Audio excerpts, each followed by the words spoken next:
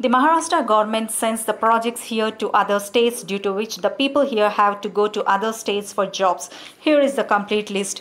10,000 youths would have got employment from Vedanta Foxconn semiconductor plant which BJP sent to Gujarat. 10,000 youths would have got employment from Tata Airbus manufacturing unit. This too was sent to Gujarat by BJP.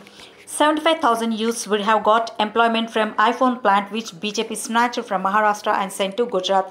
80,000 youths would have got employment from Drug Park.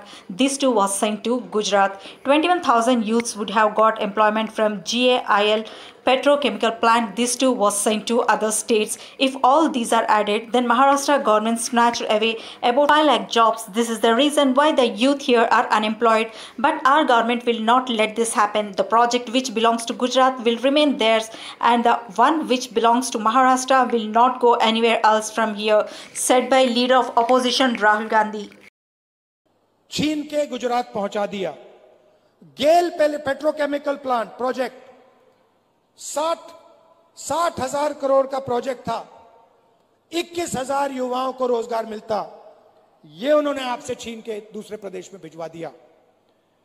अगर हम सब रोज़गार मिला दें तो महाराष्ट्र से BJP की सरकार ने पाँच लाख रोज़गार छीनकर दूसरे प्रदेशों में भिजवा दिए इसीलिए आपको यहाँ रोज़गार नहीं मिलता है।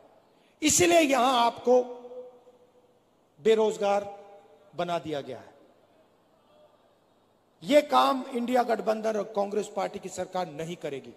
महाराष्ट्र के प्रोजेक्ट्स महाराष्ट्र में रहेंगे। गुजरात के प्रोजेक्ट्स गुजरात में रहेंगे।